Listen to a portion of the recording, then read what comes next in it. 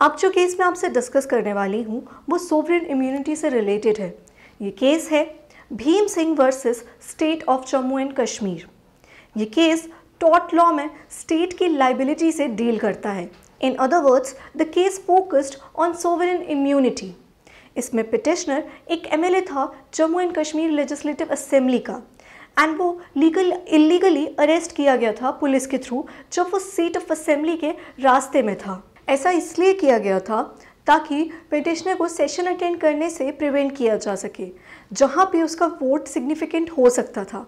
And साथ में ही उसे चार दिन तक मजिस्ट्रेट के सामने प्रोड्यूस भी नहीं किया गया जिस कारण से उसके काफ़ी सारे राइट्स अफेक्ट हुए। Like like, He was deprived of his constitutional rights under Article 21 which provide right to life and liberty and Article 22.2 which provides right to detained person to be presented before the magistrate within 24 hours.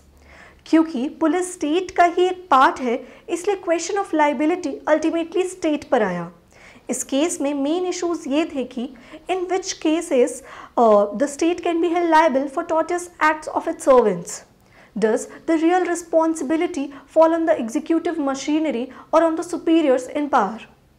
Court ने ये held किया कि police officers ने एक high handed manner में behave किया है and ये भी कि ये भी स्टेट किया गया कि लॉ ऐसे अथॉरिटोरियन एक्ट्स को कंडेम करता है साथ में ही कोर्ट ने ये भी कहा कि एक, ये एक क्लियर केस है in the of violation of constitutional rights का। एंड ये वॉयलेशन पुलिस ने की है जो कि सर्वेंट हैं स्टेट गवर्नमेंट के। एंड इस रीजन से स्टेट रिस्पॉन्सिबल होगी इस केस में।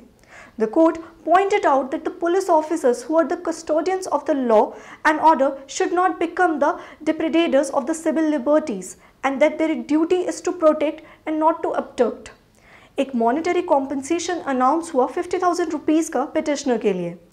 This case hence, in a way, weakened the doctrine of sovereign immunity by ensuring that both the state and the citizens are at the same level with the respect of the law enforcement.